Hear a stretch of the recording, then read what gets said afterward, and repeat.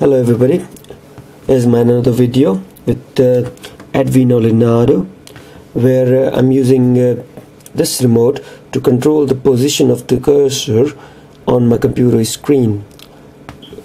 Cursor like let's suppose you can control the mouse using these four four keys and in the center OK for left click of the mouse.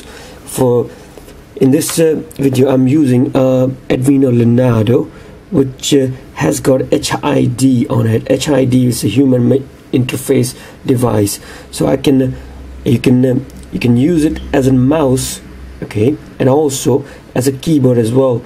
You can make your own shortcut sort of keyboard from this particular Leonardo. So you can, if you're chatting, you can create your own text. You know, like uh, everything you want to make. You know, if you want to write a huge sentence or quotations or anything like that you can make it like you know you press of a button it will write everything for you straight away rather than you typing it all yourself.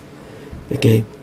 So here's a demonstration. I'm gonna upload the code on uh, I tried to do it today actually uh, on Google or somewhere else you know. So somebody if somebody need help for that you can uh, you can download it.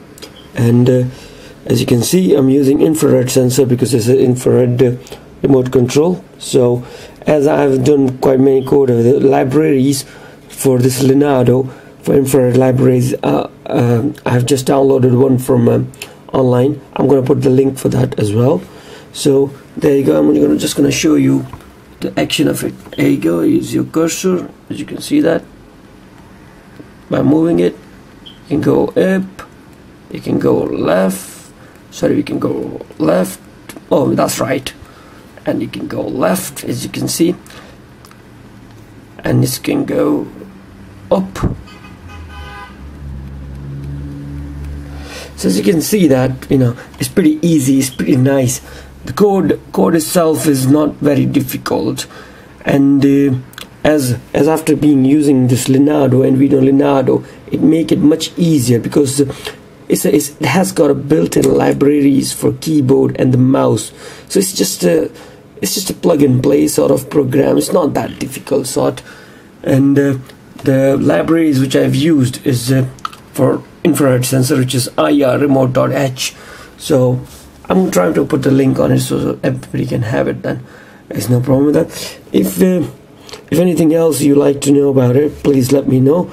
And uh, I'll I'll make another video for that. No problem with that if you just wanted to do some sort of special thing. Or if you got any idea please come forward for that I'll try to put it in forward. Thank you. Keep watching my videos. I'm gonna post, post a few more videos. Next video would be like uh, I'm gonna use uh, a gyro and gyro gyro and also accelerometer. So you can you know flap it about and you know move the mouse cursor. All right. Keep watching. Thank you. Bye bye